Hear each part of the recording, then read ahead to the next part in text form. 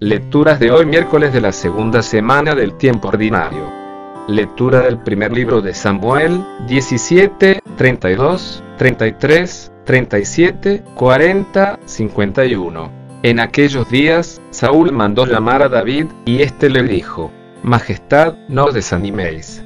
Este servidor tuyo irá a luchar con ese filisteo. Pero Saúl le contestó, no podrás acercarte a ese filisteo para luchar con él, porque eres un muchacho, y él es un guerrero desde mozo. David le replicó, el Señor, que me ha librado de las garras del león y de las garras del oso, me librará de las manos de ese filisteo. Entonces Saúl le dijo, anda con Dios.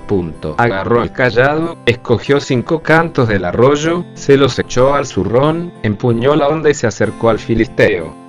Este, precedido de su escudero, iba avanzando, acercándose a David. Lo miró de arriba abajo y lo despreció, porque era un muchacho de buen color y guapo, y le gritó, ¿Soy yo un perro, para que vengas a mí con un palo?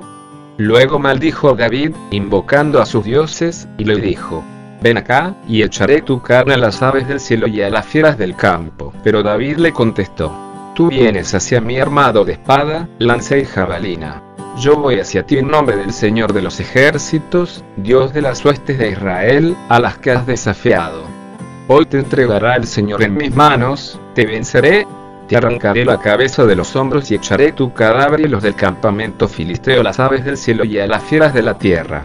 Y todo el mundo reconocerá que hay un Dios en Israel y todos los aquí reunidos reconocerán que el Señor da la victoria sin necesidad de espadas ni lanzas, porque esta es una guerra del Señor, y los entregará en nuestro poder. Cuando el filisteo se puso en marcha y se acercaba en dirección de David, este salió de la formación y corrió velozmente en dirección del filisteo.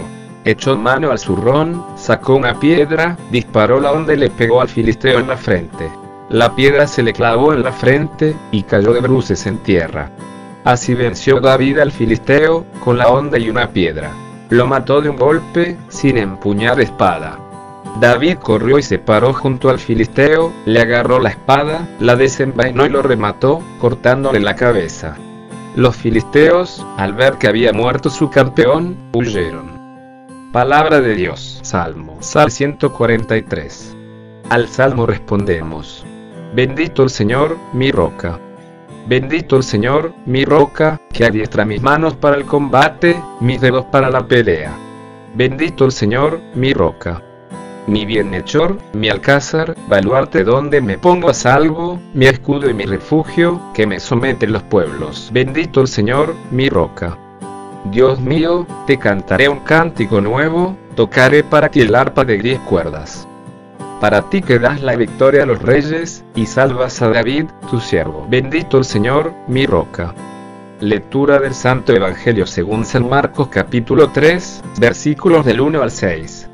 En aquel tiempo, entró Jesús otra vez en la sinagoga, y había allí un hombre con parálisis en un brazo. Estaban al acecho, para ver si curaban sábado y acusarlo. Jesús le dijo al que tenía la parálisis, levántate y ponte ahí en medio. Y a ellos les preguntó, ¿qué está permitido el sábado? ¿Hacer lo bueno o lo malo? ¿Salvarle la vida a un hombre o dejarlo morir? Se quedaron callados. Echando en torno una mirada de ira, y dolido de su obstinación, le dijo al hombre, extiende el brazo. Punto. Lo extendió y quedó restablecido. En cuanto salieron de la sinagoga, los fariseos se pusieron a planear con los herodianos el modo de acabar con él. Palabra del Señor.